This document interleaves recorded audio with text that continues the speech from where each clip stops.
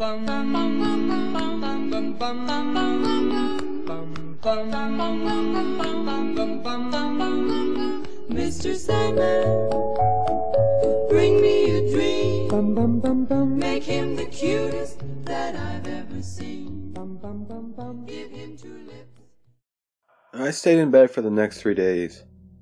I had to call in sick to work, which was fine because I very rarely miss my shifts.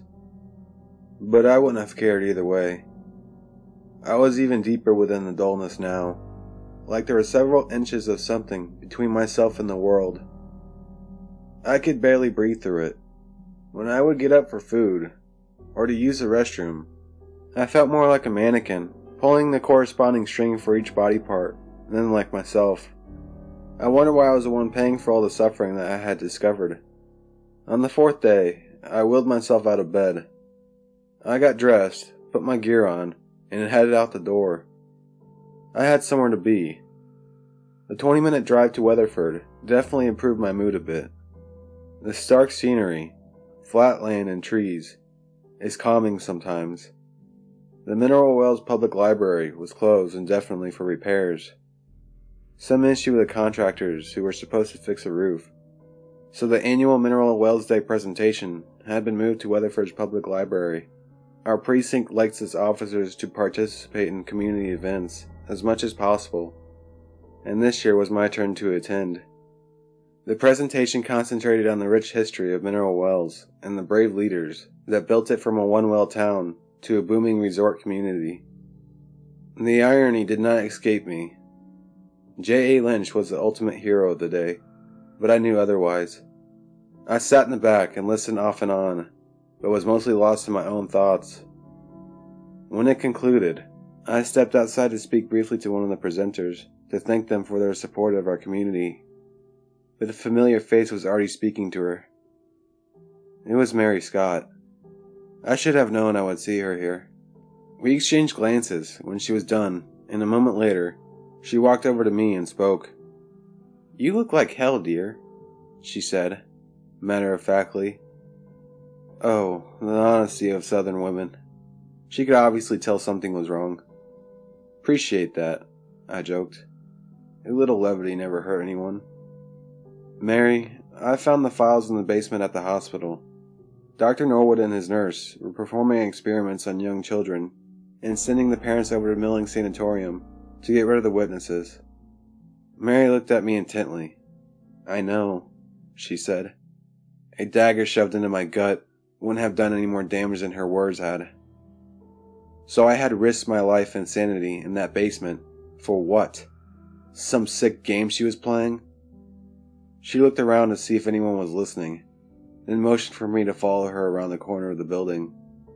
I had a mind to walk off, but followed against my better judgment. Only half of me hoped you find them. The other half, well, I'm sorry I didn't tell you. I had my reasons then and there. She paused, trying to find the right word. Consequences for talking about the events of Mineral Wells past. From the living and the dead. Remember how I said I no longer drank the mineral water? Well, I did for many years of my life, which makes me vulnerable.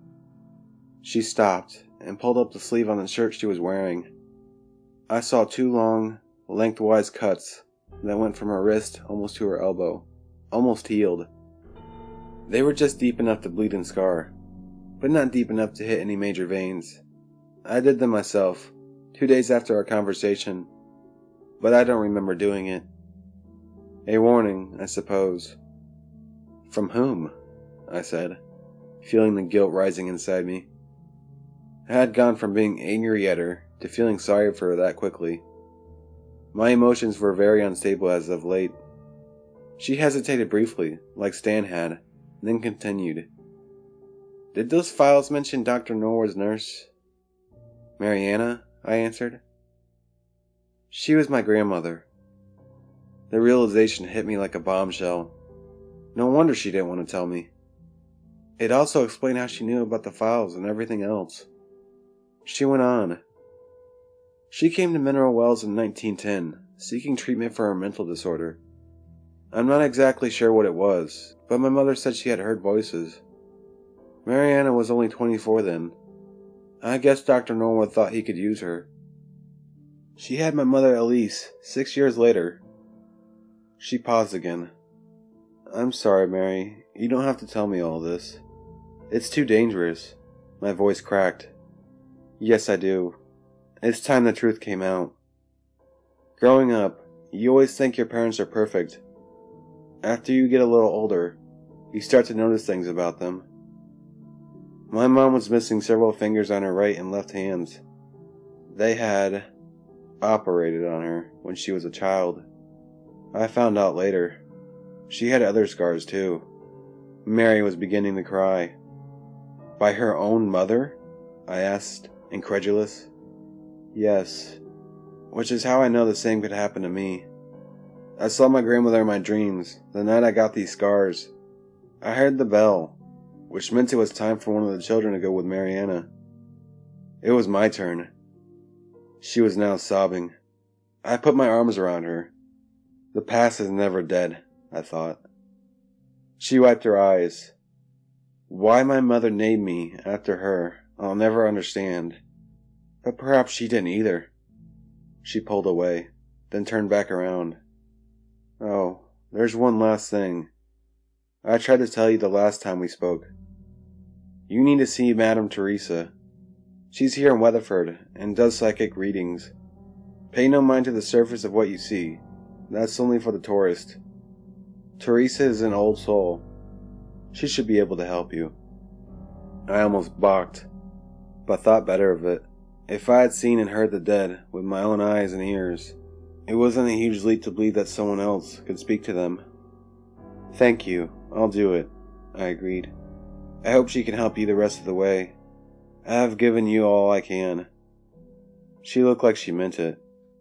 It wasn't hard to find Miss Teresa.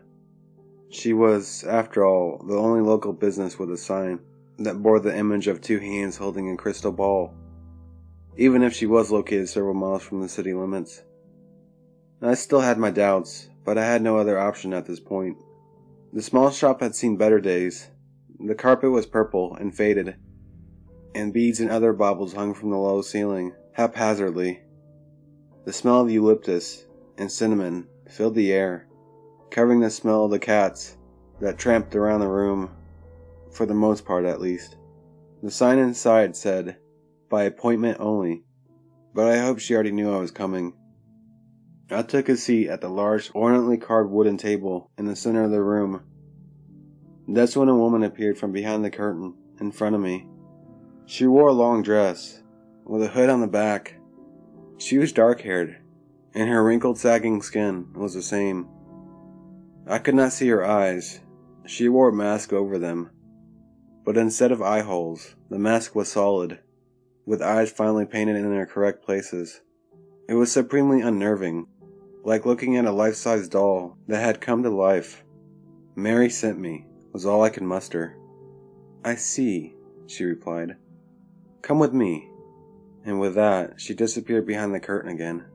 I slowly got up and followed her back. The room behind the curtain was much smaller than the main room, with only a small, simple wooden table in the middle. In the four corners of the room were small painted statues depicting animals. Totems, I believe they are called. A goose, a mountain lion, a hummingbird, and a gopher. I recognized the eyes. They were the same that had been painted on Teresa's mask. She was already seated at the table, so I sat down across from her. I noticed her hands were as wrinkled and weathered as I had ever seen but gentle somehow. I tried to focus on them. Looking at her face scared me. I sensed that she could feel my discomfort, but we didn't have to speak about Mary or my purpose here. It was clear she understood. Can you speak to the dead? I managed to squeak out. Aye, I have spoken to them.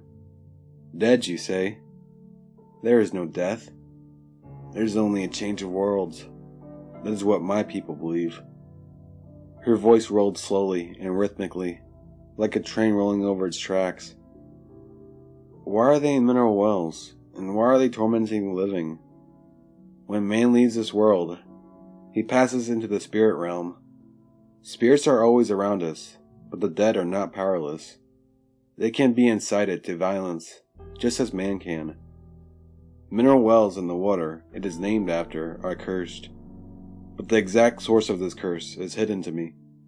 I do have my guesses, though. In Pueblo mythology, there is a spirit known as Pishuni. I believe it is similar to the spirit depicted in the Christian Bible, who appears as a snake in the Garden of Eden. Pishuni is known as an interloper. His purpose is to create strife. It was he who tempted the first humans and disrupted their harmony with nature. I believe whomever first coaxed the mineral rich water from the depths of the earth may have been visited by Pishuni. A deal may have been struck. The water would bring great wealth, but there would be a price. When the first man used the water to deceive those who honestly sought it, the price was exacted. The water was cursed, and all those who died in mineral wells while seeking the water would remain to exact their own vengeance against the ancestors of those who brought about their deaths. If it wasn't Pishuni, it may have been some other earth demon. In the end, it is of no consequence. It was ultimately man's lust for power and unsatisfiable greed that cursed Mineral Wells. I replayed all the strange events I had encountered during my time in Mineral Wells in my mind. Virginia Brown, James's great grandmother, Mariana, the man at the VA, and even the children. All had come to Mineral Wells seeking treatment for something. There were others that I was unsure of, like the spirits involved in Fort Wolters suicide, Brad Delaney's murder of his wife, and the lawnmower accident. But I had a hunch that those spirits had done the same. If I wasn't truly numb before, I was now. My eyes seemed to roll in my head. I'm not sure if I passed out, but all of a sudden, Teresa's hands were on mine. There is a dark cloud over you. You must be careful, she said cryptically. I looked around the room, trying to concentrate on something, and my eyes locked on the gopher totem.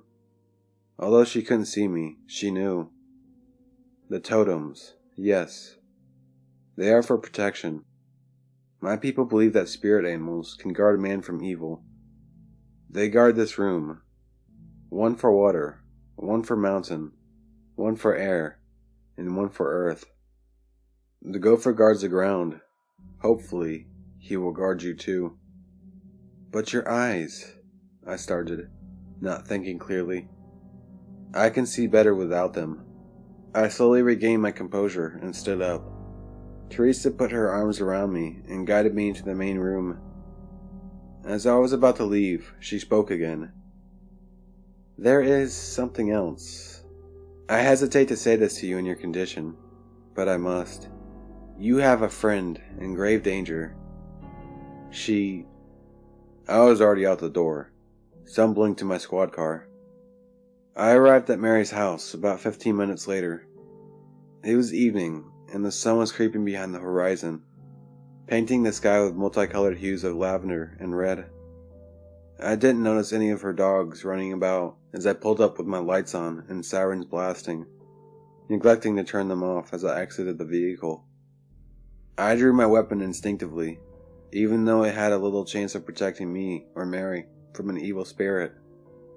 I slowly crept toward the door and found it unlocked.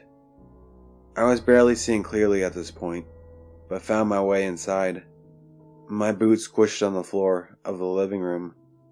I looked down to find the carpet soaked with so much blood that it had created a standing puddle, one that I was forced to walk through rather than around.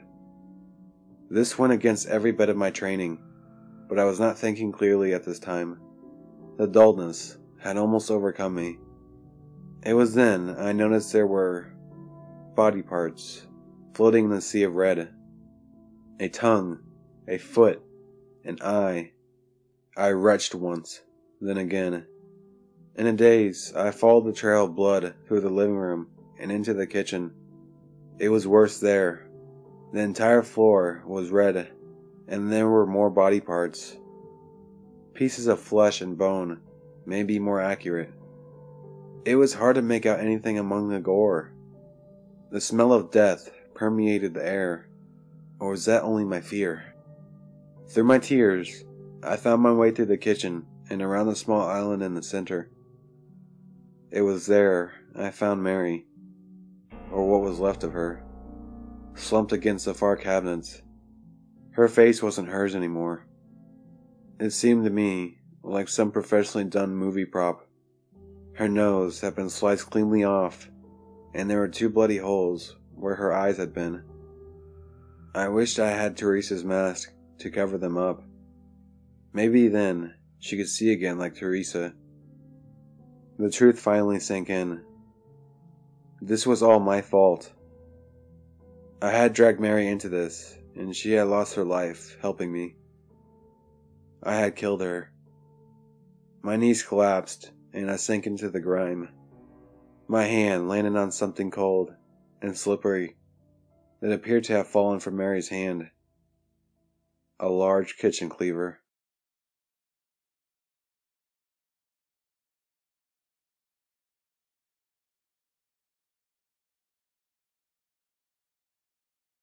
They found me, covered in gore and vomit, right where I had collapsed. The neighbors had gotten tired of the constantly blaring sirens and called the police. James was there, along with several other officers. Jesus Christ, man. It's a bloodbath in here. What happened? He asked incredulously. It was too late. I tried to stop it. I whispered, as he pulled me up onto my feet. Who did this? It was. But I couldn't put the words together. What could I say? Is any of this your blood? Are you hurt? No, I'm fine. I'm not fine, I thought.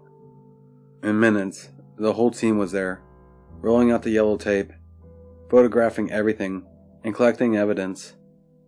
In a small town like Mineral Wells, you won't see everyone in hazmat suits, dusting things for fingerprints and setting up lasers that show the trajectory of bullets and such. The investigators do mostly everything, and they do it really well most of the time. Although I would have hated to be the guy that had to collect all those body parts. My clothes, shoes, and the rest of the gear I was wearing were collected in clear plastic bags. I was photographed from head to toe, and blood swabs were taken. Because I was an officer, I was allowed to go home and shower before heading up to the precinct to give my statement. I know that any other civilian would have been arrested on the spot. I arrived at the precinct, showered and clean shaven, my black satchel on my shoulder. I was taken back to the room where we interview criminals, asked to sit, and offered a cup of coffee. I politely declined. We have a little camcorder that is set up in the corner that was switched on after the tedious process of deleting some old interviews. I was nervous at that point. Shouldn't I be meeting with a superior to simply give my statement? Instead, I was read my Miranda rights. I decided to decline my right to have an attorney present while I was questioned. I had nothing to hide. Looking back now, I realize that was my first mistake. But considering the almost catatonic emotional state I had been in for some time, logic and reason had deserted me, and the fire inside me, the one inside all of us that urges us to fight at all cost, have been all but extinguished. I told my story from beginning to end the possessions, the experiments, and even what Teresa said. All of it. It had to come out. I showed them the files as proof. I pleaded with my fellow officers to stop drinking the water and to start looking into the strange occurrences in mineral wells. I begged them to help me shut down the company, bottling and shipping this cursed water across the country. They played along, maybe just to keep me talking. But the looks I got when I explained Mary had mutilated herself, well, let's just say they weren't friendly. I'm sure you can imagine how it went. Why were you at her home that night? A psychic told me she was in danger. Officer rolls eyes and scoffs. Sure, buddy. We believe you. Now tell us about these ghosts you saw again. Afterwards, I was placed on temporary leave and taken to a holding cell. The next several weeks were a blur. I was placed under official arrest soon after my interview and held without bond. Can you blame them? It was a gruesome scene. I was covered in blood. It appeared as if I had handled the murder weapon. And hell, she was cut into pieces for Christ's sakes. The medical examiner stated that no human would have been able to survive long enough to do that to themselves without bleeding out. Plus, even if she could have, why would Mary have done this to herself? It made no sense. I learned later that my arrest was never reported, but I wasn't surprised. Can you imagine how a local cop arrested for mutilation a retired teacher would have gone over in the local paper? The MWPD would have had to deal with a shitstorm, the likes of which they had never experienced before. Controversies like that don't go away very easily, if ever, in small towns like Mineral Wells.